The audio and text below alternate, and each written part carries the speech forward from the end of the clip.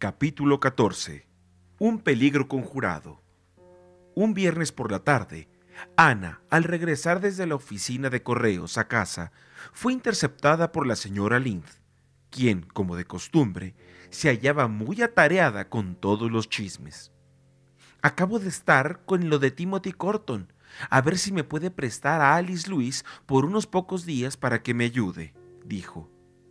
La tuve la semana pasada, pues aunque es muy lenta, es mejor que nada.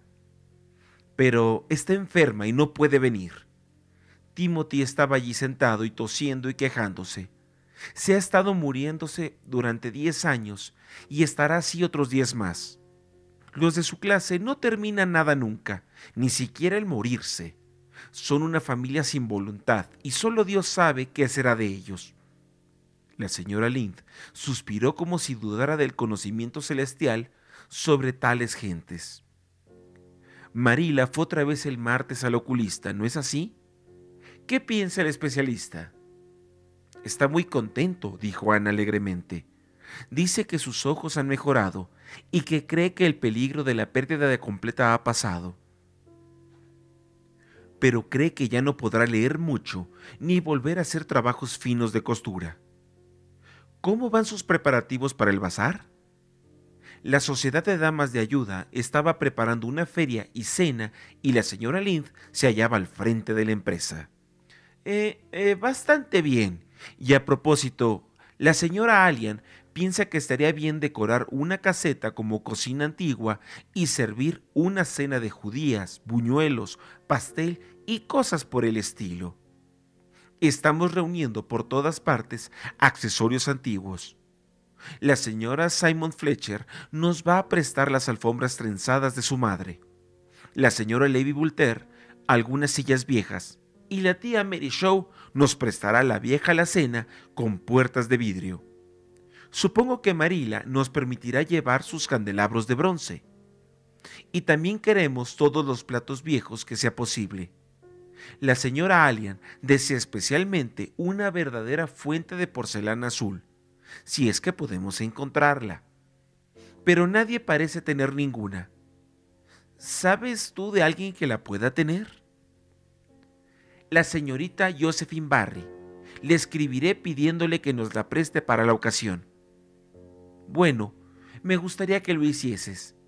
Creo que tendremos esa cena dentro de unos 15 días. El tío Abe Andrews profetiza tormentas para esa época, por lo que es seguro que tendremos buen tiempo. El susodicho tío Abe tenía por lo menos de común con los otros profetas el no serlo en su tierra. En realidad, se le consideraba como una broma, pues pocas de sus predicciones meteorológicas se habían cumplido. El señor Elisha Wright, que se creía el ingenioso del pueblo, acostumbraba a decir que en Abuli nadie miraba los periódicos de Charlottetown para conocer el estado del tiempo. No, simplemente se lo preguntaban al tío Abe y esperaban lo contrario. Sin amilanarse, el tío Abe seguía profetizando. Queremos que se lleve a cabo la feria antes de las elecciones, continuó la señora Lind, pues es seguro que vendrán los candidatos y gastarán mucho dinero los conservadores sobornan a diestra y siniestra, de manera que también se les puede dar una oportunidad de gastar por una vez su dinero en forma honesta. Ana era una decidida conservadora, en recuerdo a de Matthew, pero nada dijo. Prefirió no hablar de política con la señora Lind. La muchacha tenía una carta para Marila, con el matasellos de la Columbia Británica. Probablemente es del tío de los niños, dijo excitada cuando llegó a casa. Marila, quisiera saber qué dice al respecto de ellos. Lo mejor será abrirla. Fue la seca respuesta de Marila. Un agudo observador hubiera comprobado que también estaba excitada, pero hubiera muerto antes de darlo a entender. Ana abrió la carta y echó una mirada a los desaliñados y mal escritos renglones dice que no puede hacerse cargo de los niños esta primavera, que ha estado enfermo la mayor parte del invierno y que su boda ha sido aplazada. quiere saber si los podemos tener hasta el otoño y que entonces él se hará a cargo. Desde luego que lo haremos, ¿no, Marila? Creo que no nos queda otra alternativa, dijo Marila algo secamente, aunque con un secreto de alivio. De todos modos, ahora no son tan molestos como antes. O quizás sea que nos hemos acostumbrado a ellos. Davy parece haber progresado mucho. Sus modales son mucho mejores, dijo Ana cautelosa, como si no estuviera preparada para decir lo mismo sobre su moral. Ana había regresado a casa la tarde anterior para encontrar que Marila había ido a una reunión en la sociedad de ayuda, que Dora dormía en el sofá de la cocina y que Davy, junto al armario de la sala de estar, paladeaba feliz las famosas confituras de ciruelas amarillas de Marila, cosa que se le prohibiera tocar. Parecía culpable cuando Ana le sorprendió y le sacó del armario. Davy Kate, ¿no sabes que está de muy mal que comas esas cosas cuando se te ha dicho que no toques nada de ese armario? Sí, sé que estuvo mal, admitió Davy incómodo. Pero las confituras de ciruelas son muy ricas, Ana. Entré a echar una mirada y parecían tan buenas que quise probar un poquito. Metí el dedo. Ana lanzó un gemido. Y me lo chupé. Y estaba tan bueno que me pareció mejor meter una cuchara y me lancé. Ana le dio una explicación tan seria sobre el pecado de robar confituras que Davy sintió remordimientos y en medio de besos prometió su arrepentimiento y no volver a hacerlo. De todos modos, en el cielo habrá bastante dulce, lo que es un consuelo, dijo complaciente. Ana preludió una sonrisa. Quizá lo haya, si lo queremos, dijo. Pero, ¿qué te hace pensar eso? Pero, si está en el catecismo. Oh, no, el catecismo no dice nada parecido, David. Pero te digo que sí, insistió David. En esa pregunta que Marila me explicó el domingo pasado. ¿Por qué debemos amar a Dios? ¿Por qué conserva y redime y conserva es un nombre para los dulces?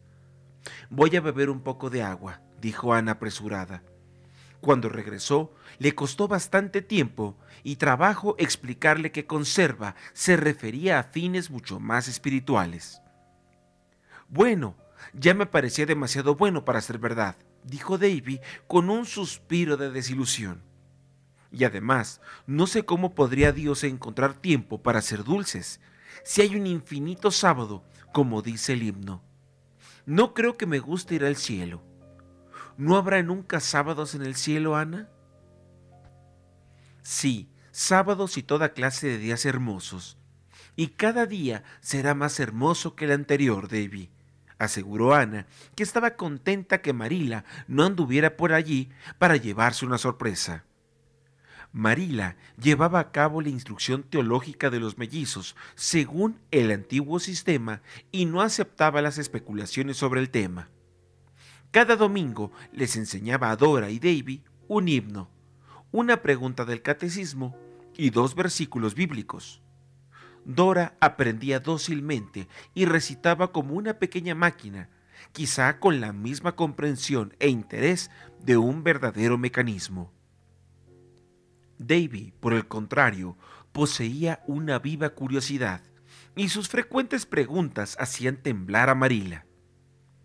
Chester Sloan dice que en el cielo no haremos otra cosa que caminar todo el día vestidos de blanco, tocando el arpa, y que espera no tener que ir hasta que sea viejo, porque entonces puede que le guste.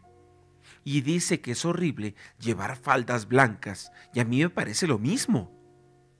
¿Por qué los ángeles no pueden llevar pantalones, Ana?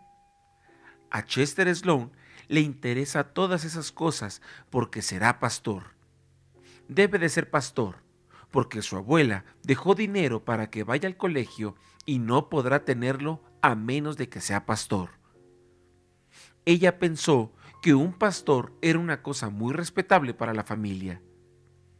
Chester dice que no le importa mucho, que más que le gustaría ser herrero, pero tiene intenciones de divertirse cuando pueda antes de ser pastor, porque no cree que después sea posible. Yo no seré pastor, seré comerciante como el señor Blair, y tendré montones de caramelos y plátanos. Pero iré a tu cielo si me dejasen tocar una armónica en lugar del arpa. ¿Crees que me dejarían? Sí, creo que te lo permitirán, si quieres, claro. Fue todo cuando pudo decir Ana sin reír. La SFA se reunió en lo que del señor Harmon Andrews esa tarde y pidió asistencia completa, ya que debían tratarse importantes asuntos. La SFA estaba en estado floreciente y ya habían conseguido maravillas.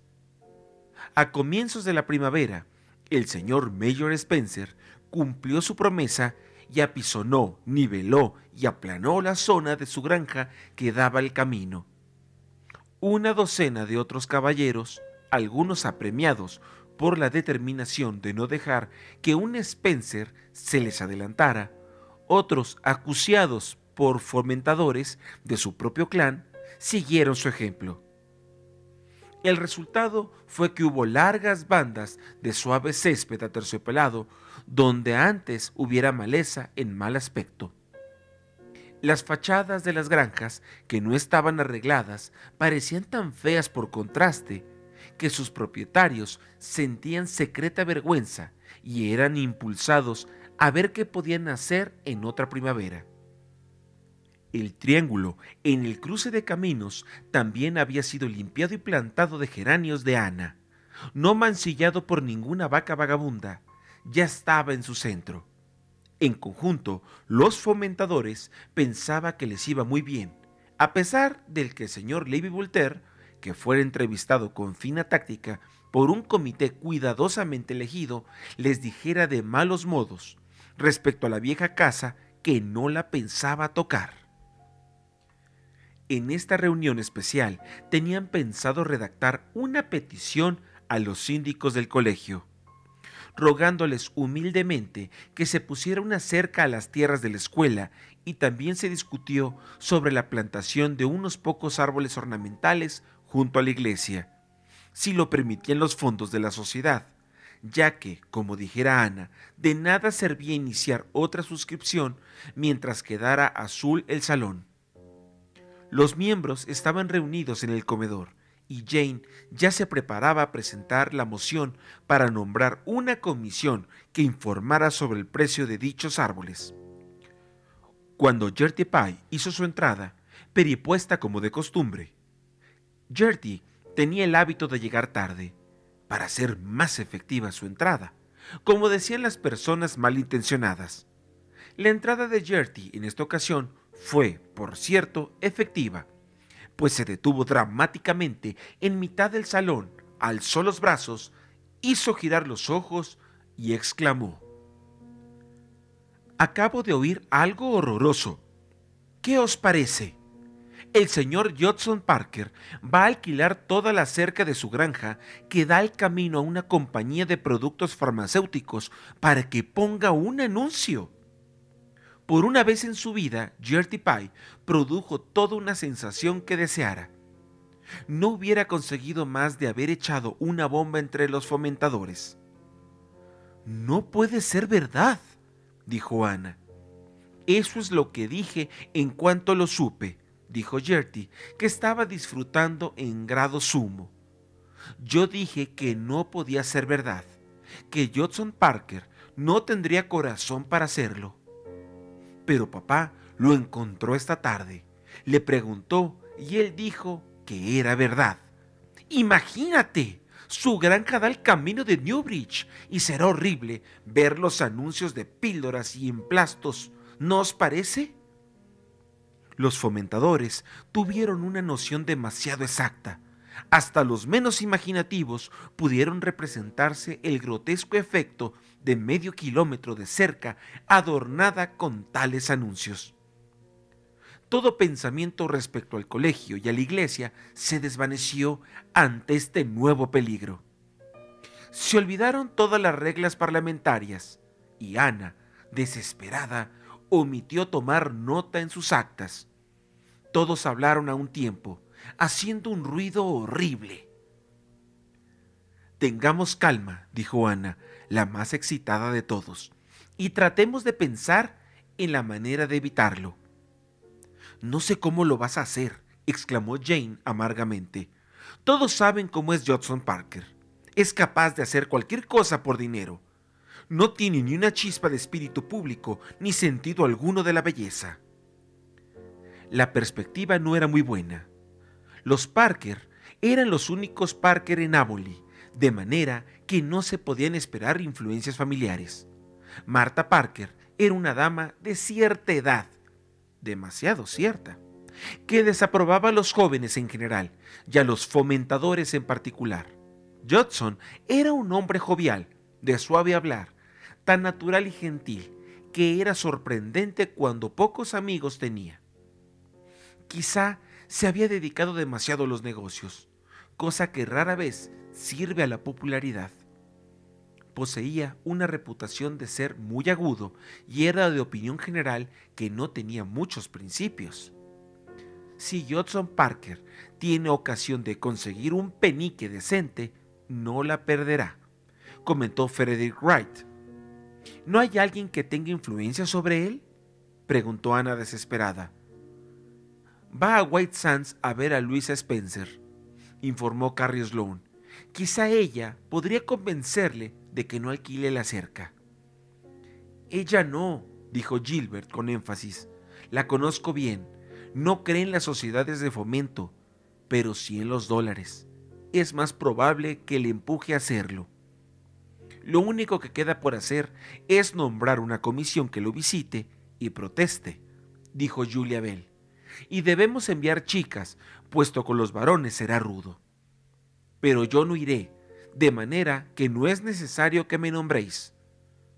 Mejor que enviemos a Ana sola, dijo Oliver Sloane. Es la única capaz de lidiar con él. Ana protestó. Deseaba ir y hablar, pero debía llevar otros consigo para apoyo moral. Por lo tanto, se nombró a Diana y a Jane para que se lo dieran.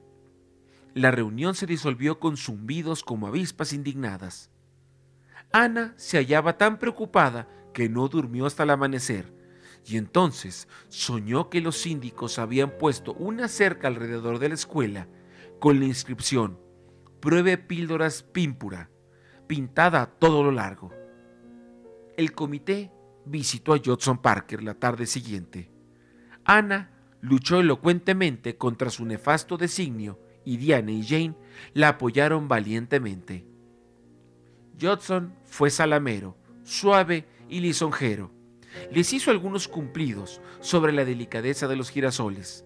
Lamentó mucho negar algo a tan bellas jóvenes. Pero los negocios son los negocios, y no podía dejar en esta época tan difícil los sentimientos se cruzaran en su camino. Pero les voy a decir qué haré, dijo guiñando un ojo. Le diré a la gente que use colores bonitos, rojo y amarillo, por ejemplo, y le insistiré que de ninguna manera puede pintar el anuncio de azul. El derrotado comité se retiró, pensando cosas que la censura no nos permite repetir. Hemos hecho cuanto nos ha sido posible y debemos confiar en la providencia, dijo Jane, imitando inconscientemente el tono y gesto de la señora Lind. Quizá el señor Allian pudiera hacer algo, reflexionó Diana. Ana negó con la cabeza. No, de nada vale molestar al señor Allian, especialmente ahora que tiene el niño tan enfermo. Judson se le escurriría, como a nosotras, aunque ahora le ha dado por ir a la iglesia regularmente. Pero es solo porque el padre de Luis Spencer es viejo y se fija mucho en esas cosas. Judson Parker es el único en Avonlea a quien se le pudo ocurrir alquilar la cerca, dijo Jane indignada. Ni Levi Voltaire ni Lorenzo White lo hubieran hecho con los poco pródigos que son. Tienen demasiado respeto por la opinión pública. La opinión pública se fijó, por cierto, en Judson Parker cuando el tema trascendió. Pero eso no sirvió de mucho. Judson se reía y la desafiaba. Los fomentadores estaban tratando de resignarse a la idea de ver echada a perder con anuncios la parte más hermosa del camino a Newbridge. Cuando Ana se puso en pie ante la presidencia y anunció que el señor Judson Parker le había dado instrucciones para que informara a la sociedad de que no iba a alquilar su cerca a la compañía de específicos. Jane y Diana se quedaron mirándola como si no creyeran en sus oídos. La etiqueta parlamentaria, que se guardaba estrictamente en la SFA, la inhibió y no pudieron dar rienda suelta a su curiosidad. Pero después de la sesión, Ana fue asediada en búsqueda de noticias. Ella no tenía explicaciones que dar.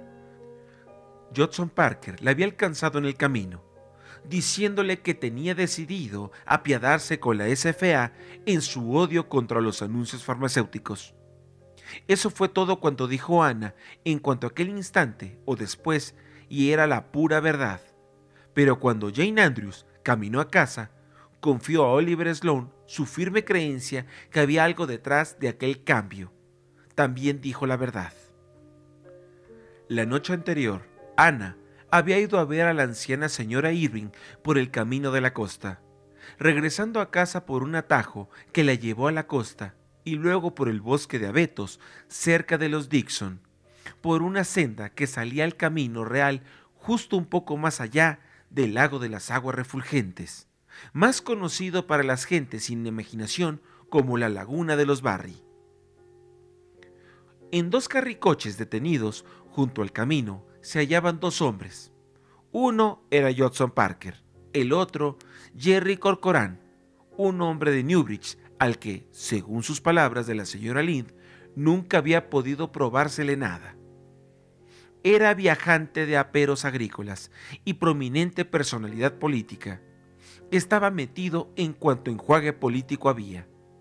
Y como Canadá se hallaba en vísperas de elecciones, Jerry era un hombre muy ocupado desde semanas antes, pues recorría toda la región en búsqueda de votos para su candidato. En el momento en el que Ana emergió entre la maleza, le escuchó decir a Corcorán, si vota usted por Amesbury, Parker, bueno, yo tengo un pagaré de unas herramientas que recibiera usted en la primavera. Supongo que no le molestaría que fuera destruido, ¿no? bueno, ya que me lo pide así, respondió Judson con un guiño, creo que lo haré. Un hombre debe vigilar sus intereses en estos tiempos. En ese instante, ambos vieron a Ana y la conversación cesó abruptamente. Ana saludó con frialdad y siguió, con la barbilla un poco más alta que de costumbre. Pronto la alcanzó Parker. ¿Qué, quiere que la lleve Ana? le preguntó ingenuamente. No, gracias, dijo ella, con un ligero desdén en su voz que percibió la no muy sensible conciencia de Judson. Su cara se enrojeció y tiró enojado de las riendas, pero al instante recapacitó. Miró incómodo a Ana, que seguía andando sin mirar ni a la derecha ni a la izquierda. Había escuchado la inequívoca oferta de Corcorán y su clara aceptación. Maldito Corcorán, si tuviera al menos la costumbre de no decir las cosas tan claro, y malditas maestras pelirrojas que aparecen cuando menos uno lo espera, si le había oído seguramente que lo contaría, aunque Judson le preocupaba bien poco la opinión pública. Ser conocido como vendedor de su voto era algo muy feo, y si llegaba alguna vez a los oídos de Isaac Spencer, adiós sus esperanzas de ganar la mano de Luisa. Con su futuro de heredar a un rico granjero, Judson sabía que no le miraban ya del todo bien, de manera que no podía correr el riesgo alguno. Ana, querría verla sobre ese asunto de que conversamos el otro día. He decidido no alquilar la cerca a esa compañía, una sociedad con miras con la que de ustedes debe ser alentada. Ana dejó de lado su frialdad. Gracias. Y, no hace falta que mencione mi conversación con Jerry. No tenía la menor intención de hacerlo, dijo Ana fríamente. Hubiera preferido ver todas las cercas de Avonlea pintadas antes de negociar con un hombre capaz de vender su voto. Bueno, bueno, asintió Judson, imaginando que se comprendían magníficamente uno al otro. Nunca la creí capaz. Desde luego que le estaba tomando el pelo a Jerry. ¿Se cree tan sagaz? No tengo intenciones de votar por Amesbury. Votaré a Grant como siempre. Ya lo verá cuando lleguen las elecciones. Y está bien lo de la cerca, se lo puede decir a los fomentadores. En este mundo tiene que haber gente de todas clases, como he oído a menudo, pero creo que hay algunas de las que se podría prescindir, reflexionó Ana esa noche ante el espejo de su cuarto. No podría haber mencionado esa desgracia a nadie, de modo que mi conciencia está tranquila a ese respecto. En realidad, no sé a qué o a quién haya que agradecérselo. Yo no hice nada para conseguirlo, y es difícil creer que la providencia emplee medidas como las que usan los hombres como Judson Parker y Jerry Corcoran.